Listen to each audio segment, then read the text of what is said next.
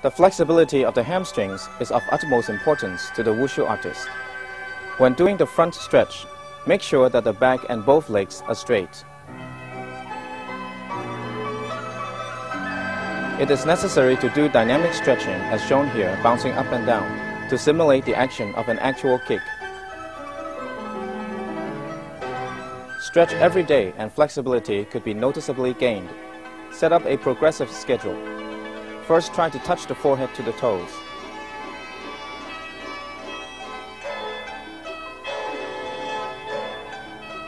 Then go for the nose touching the toes.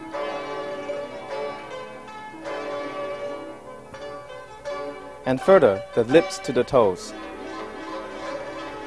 Try to relax the muscles in the leg and use the arms to pull.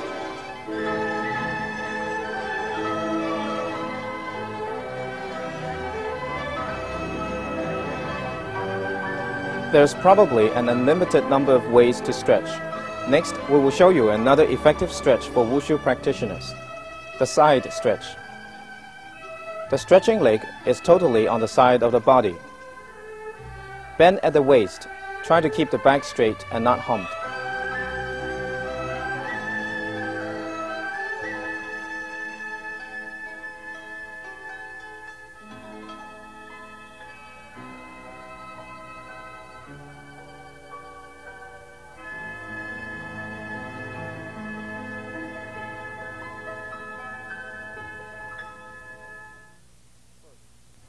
Next, different kicking exercises. First, the front kick.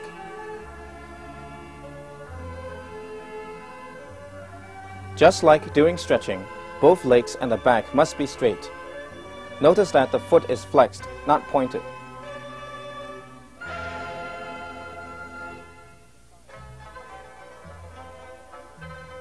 The side kick.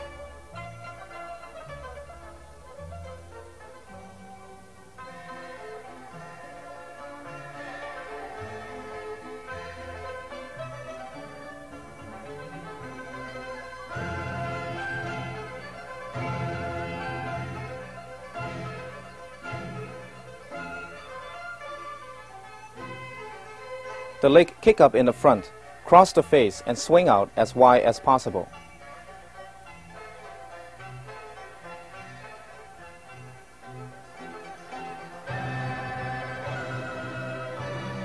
Here's a front view of the outside crescent kick.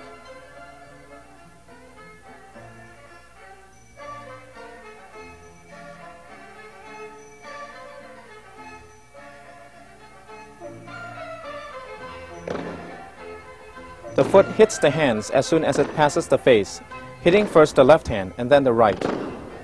Make sure that the hands are very close to each other.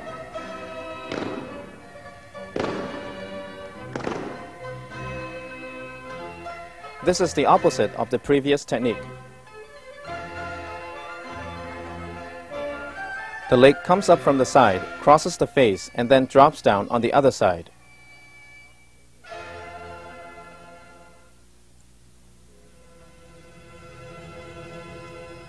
Here is the front view.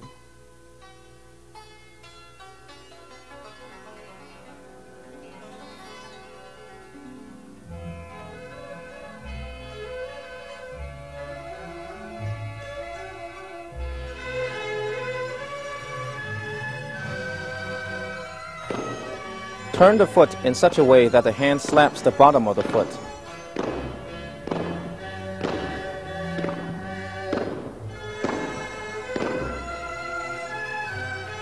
The previous are straight-legged kicks. The next two are snapped from the knee. For the side thrust kick, the power is focused at the outside edge of the heel.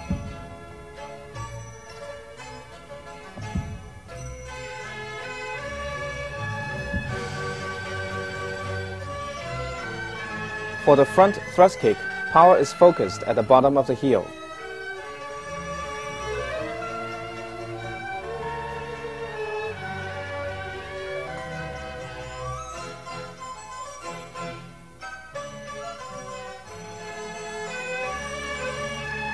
Next, several stances will be demonstrated.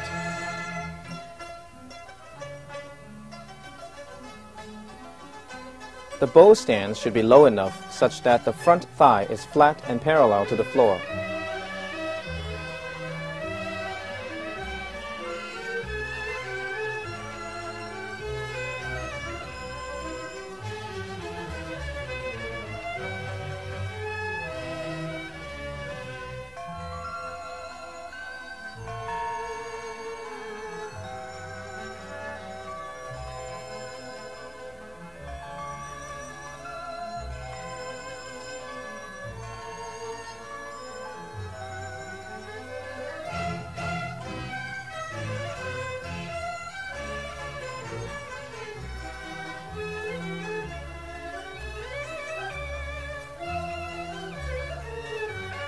The weight of the body is totally on the back leg.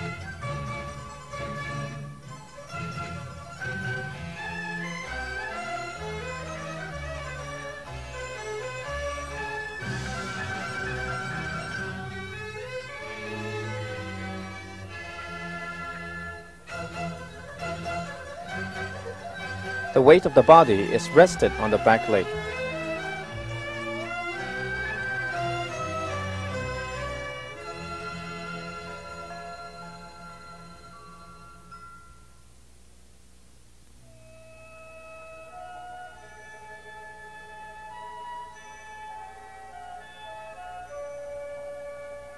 The foot of the back leg is pointed as the bottom sits on the floor.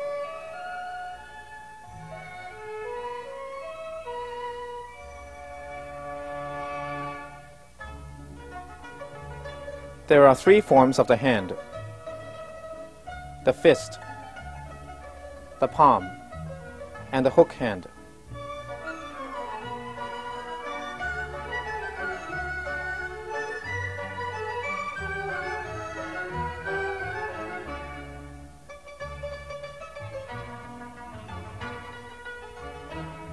The thrust punch is the most basic strike.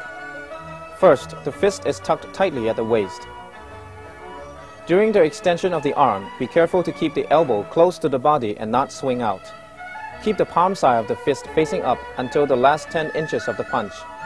Then flip the wrist over with a snap.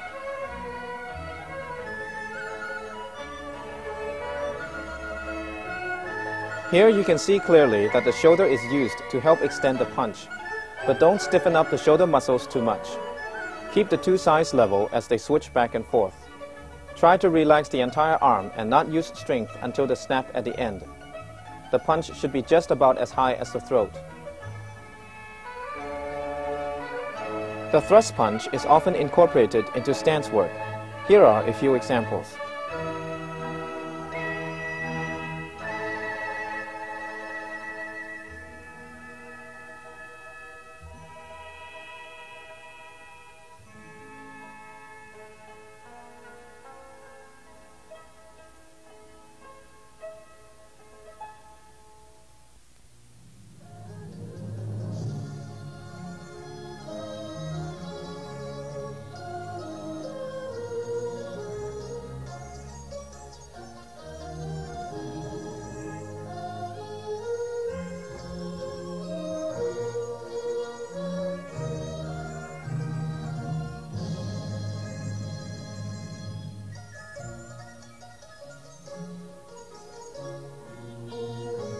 Make sure that the snap kick and the punch are executed at the same time.